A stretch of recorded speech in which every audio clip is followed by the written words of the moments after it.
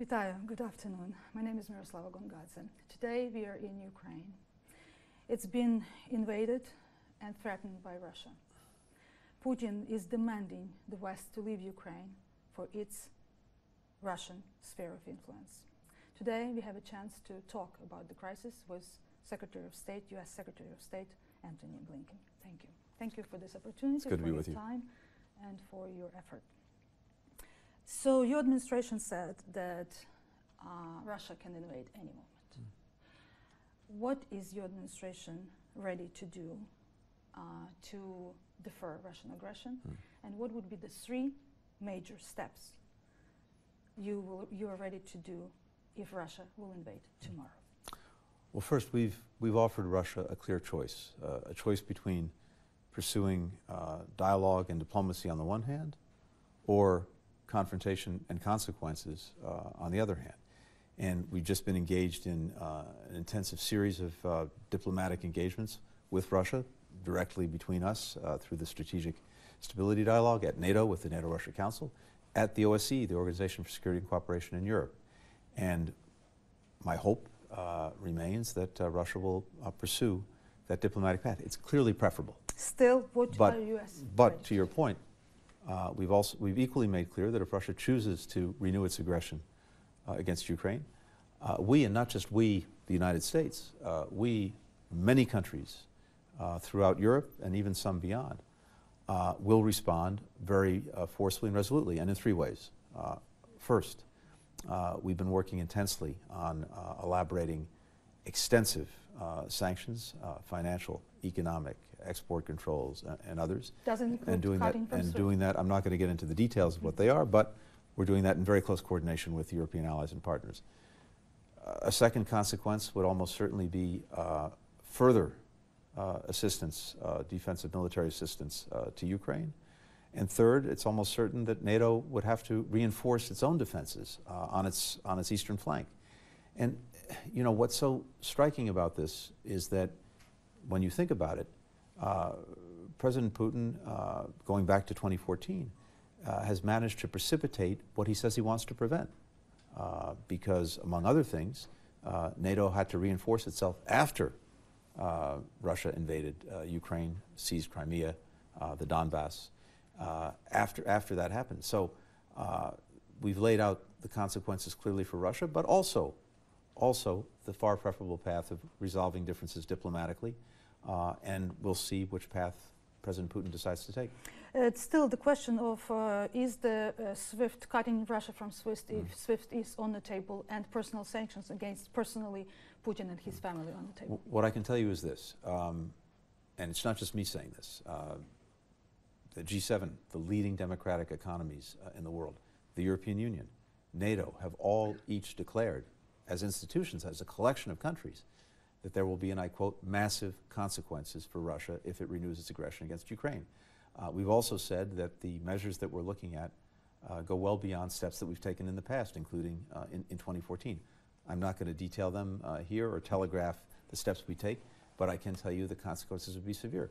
But again, I want to insist on the fact that uh, it would be far preferable not to have to go down that path. We're fully prepared to do it, but the preference is uh, to see if we can resolve uh, differences, address um, concerns uh, in both directions through diplomacy. Uh, Russia asked for a written response to demand never to accept Mm. Ukraine um, into NATO. Are you preparing to? Are you preparing such a written response, and what kind? So we've, we, we had the last week of these important engagements, uh, as, I, as I noted, and we now have an opportunity, both uh, Russia and, uh, and all of us, uh, the United States, our European partners, to take back what we heard um, from each other. Uh, the Russians uh, have gone back and presumably are consulting with, uh, with President Putin. Uh, we've done the same, in my case, with, uh, with President Biden. Europeans have done the same with, uh, with their leaders. And the next step in this process is uh, for me to have a chance to meet with um, Foreign Minister Lavrov in Geneva on Friday uh, and to see what, uh, how, uh, how Russia's responded to uh, what's already been, been discussed. They'll hear, they'll hear from us. Before that, though, I was d- uh, determined that President Biden's instruction to come here to, to, to Kiev to consult with our Ukrainian partners, and then tomorrow in, in Berlin to meet with some of our, our closest European partners. That's exactly how we proceeded all along. We've done everything in very close consultation before uh, and after any of our engagements with Russia. However, you didn't answer my question about are you preparing the written response to R- Russian demand? Right now, the next step is to meet uh, with uh, Foreign Minister Lavrov. Let's see where, where we are after Friday, and we'll take it from there. Uh, I had that question about Mr. Lavrov. You were, uh, you were scheduled to meet him. Uh, do you see any signs that the Kremlin is changing its position at this point? I can't see that I see any, any direct evidence of that. Uh, unfortunately, we, can we continue to see uh, Russia having uh, amassed very significant forces uh, on Ukraine's uh, borders. Uh, that process seems to continue. On the other hand, the fact that we are meeting in Geneva, the fact that we will be discussing the um, conversations and exchanges that we've had over the last 10 days also suggests to me that diplomacy remains a, a, an open possibility uh, one that we're determined to pursue uh, as long and far as we can. We want to leave no diplomatic stone unturned because, again, that's just a much better and more responsible way to deal with these problems. Uh, the Minsk agreement is seen as the only valuable solution Mm. um, uh, for this crisis. However, Russia and Ukraine has a different reading Mhm. of the agreement. What has to be done to implement the agreement, or it's time to renegotiate Mm. uh, its norms? I don't think there's any, uh, any need to renegotiate because, as you say, uh, there is an agreement. In fact, there are actually three of them because Minsk evolved uh, 2014 to 2015. Uh, and there are a number of very clear steps uh, that uh, both of the parties have to take. I think it's fair to say, looking back, that many of those steps Ukraine has either implemented or begun to implement. There are some that it, that, that it ha- hasn't yet tackled. I think, unfortunately, it's equally fair to say that Russia has done virtually nothing in terms of the steps required of it in the Minsk agreement. So the first question is whether Russia is serious about resolving uh, the, uh, the Donbass through the Minsk process. If it is, uh, I agree with you. I think that's the, the best uh, and right now really the only way forward. France, Germany uh, are an important part of this through the so-called Normandy format. and there are supposed to be upcoming meetings uh, in that process. And again, it's a test of whether uh, Russia is serious about it. The one positive sign that we've seen in uh, the last few weeks when it comes to Minsk is a loose ceasefire that uh, is clearly uh, an improvement over where things were. Uh, that takes us back to where, where we were in 2020. But the real question is is Russia serious about implementing Minsk? If it is, we're prepared to, to facilitate that, we're prepared to support that. We're prepared to engage in that, but in support of this Normandy process that France, Germany, Russia, and Ukraine uh, are engaged in. Uh, since you mentioned Germany, uh, you mentioned Normandy format. Mm -hmm.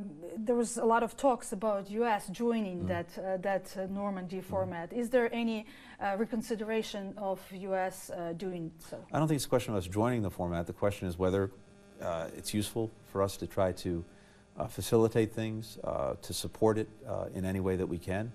Uh, if the answer to that is yes, we're fully prepared to do that, and we've uh, said, of course, uh, shared that with our uh, allies and partners, France and Germany, but we've also said that to, uh, to Russia and, of course, to Ukraine. Uh, the U.S. National Security Advisor recently said that, that if Russia wants Nord Stream to start operating, mm. it will have to stop aggression in Ukraine. Mm. Is the United States ready to accept the completion and activation of the pipeline mm. for Russia to withdraw troops from the borders? Well, we continue to oppose the pipeline for reasons that are well known and are, and are, and are long known. Uh, we think that uh, it actually undermines Europe's uh, energy security. It obviously uh, does uh, tremendous potential damage to Ukraine, uh, including giving Russia the option to avoid the existing pipeline through Ukraine that results in a lot of transit fees for Ukraine. And the, list, the list goes on. Having said that, um, the pipeline is actually complete. The construction's been completed. Uh, it's not operational. And to Jake Sullivan, the National Security Advisor's point, right now, uh, that pipeline is as much, if not more, leverage uh, for us as it is for, for Russia because the idea that if Russia commits renewed aggression against Ukraine, uh, gas would flow through that pipeline is highly, highly improbable. Uh, so that's an interesting factor to see uh, whether it affects Russia's thinking as it's uh, deciding what to do. And I have uh, uh, two questions on on uh, on the domestic agenda, Mhm. Ukraine domestic agenda, if I if I may. Um, the President Zelensky promised President uh, Biden uh, personally Mm. to fight corruption. Mm. Uh, he promised to appoint a special anti-corruption prosecutor Mhm. before the end of 2021. Uh, however, many Ukrainians um, argue that there is sabotage of anti-corruption Mm. uh, reform. Reforms. Uh, is the United States, um, as a Ukraine strategic partner, satisfied with the reform progress in. Ukraine? And is Ukraine at risk of losing the U.S. support if the government does not meet its uh, commitment to reform agenda? Uh, I had a chance to spend time with uh, President Zelensky today. Uh, we had a very good conversation uh, about virtually all of these issues, uh, including the question of, of reform. And President Zelensky has been pursuing reform, including most recently judicial reform. Uh, but there are other uh, things that, uh, that need to happen, uh, including uh, finally uh, the appointment of this uh, uh, commissioner uh, that uh, should uh, and could take place uh, any time. So we are looking to that uh, to see that happen. Um, it's challenging. Uh, there are external pressures, uh, there are internal pressures, uh, but uh, he has been on the path of reform. And ultimately, um, Ukraine's progress, which we are determined to support, uh, is contingent on, uh, on reform. Uh, so we look to the president continue that, uh, those efforts. Uh, we very much support him in those efforts, and will continue to support Ukraine as it makes those efforts. Thank you so much. Uh, they're showing me that I have to cut. I have one more question, though. One more, please. One more question. Um, across from this building where we are, uh, we are going doing this interview today, right? Um, on uh, the hearing, in the court hearing Mhm. on treason charges uh, brought against the former President Poroshenko, many experts and former Western politicians uh, expressed their concern, and some say the charges are politically motivated. Do you think these charges and the, and the progress of and the process of, is justified uh, at, the, at the time of looming war? Well, I can't, I can't get into the details of this, uh, of this particular uh, case. Uh, what I can say is this. It's very important that in, in any proceeding, whether it's this one or, or any other, that if things go forward, it's through an independent judiciary, pursuant to the rule of law, uh, and as we would say, without fear or favor, uh, no selective uh, prosecutions. That's a general uh, rule that we would apply anywhere and everywhere. Um, second, this is a time, I think, uh, where there's a premium on national unity, precisely because of the, the threat that Russia is posing. Uh, and um, it's important for Ukrainians to come together, whatever political differences they, uh, they may have. Uh, one of Russia's methods is to try to divide, to create divisions, to create distractions. Uh, and it's important uh, for Ukrainians to come together to resist that uh, and to um, uh, deal with the challenge posed uh, by Russia as one, uh, as one country, uh, with um, an incredible uh, future uh, that uh, the United States strongly supports, but one that's being challenged. Thank you so much, because I would be escorted from this room. Thank you so much. Thank you. Good to be with you again. Good to be. Thank you.